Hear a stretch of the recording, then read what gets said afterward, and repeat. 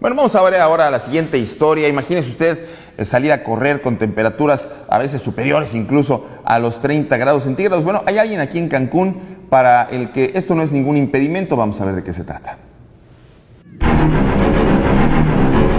Le llaman suerte, pero es constancia.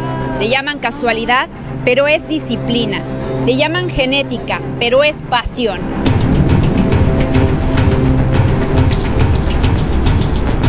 Héctor Beristain Fiori, atleta de alto rendimiento, se ha impuesto como el maratonista con los mejores tiempos aquí en Quintana Roo.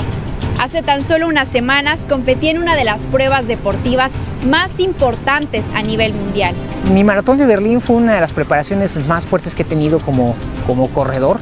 Eh, fue una preparación muy intensa. Fueron... La maratón de Berlín es una competencia donde se deben cubrir los 42 kilómetros con 195 metros.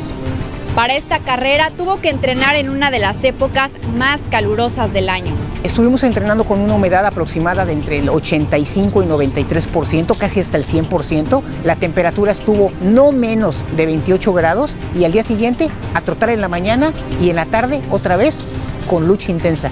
Un entrenamiento de 12 semanas completas, dos veces al día, fueron suficientes para vencer su marca personal.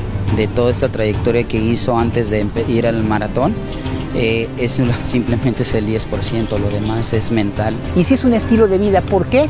Porque pues eh, aparte tengo dos clubes de atletismo, entreno en la mañana a un grupo, en las tardes estoy con otro y pues prácticamente esta pista que estás viendo que es el Toro de Venezuela es parte de mi vida diaria.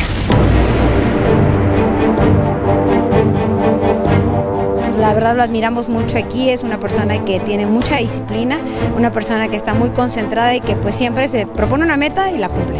Cuando corres una carrera de larga distancia, no sabes en qué momento de la competencia aparecerán los problemas. Pero en este deporte no puedes permitirte quebrarte mentalmente. Hágalo simplemente con el corazón. Quiéranlo, deseenlo y luchen por lo que quieran alcanzar.